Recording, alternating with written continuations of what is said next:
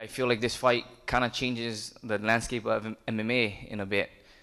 Um, you know, I, I feel like only two sets of rankings matter, right? 20 guys. Um, and you know, I, am I'm, I'm fighting for I'm fighting for one of those numbers. And, on, on the side, I just where I was um, a few fights ago and where I'm at now, um, it's it's huge. Um, and so with a win, it means a lot for MMA switching promotion, getting a win, and then right back in this spot. Uh, it kind of gets past that and get right, um, you know, make people forget um, about about the past.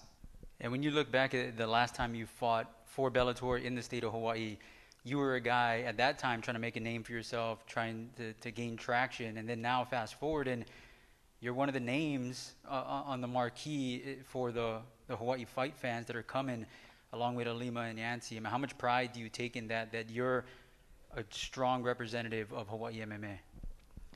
Uh, yeah, I take I take lots of pride in that. Um, just you know, that's what I wanted as a little kid.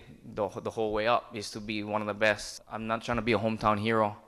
I'm trying to be a household name. So, um, yeah, then that's that's this is always the goal. And you know, and you need to be in that situation at times. I mean, at some point, you got you got to be the guy coming up.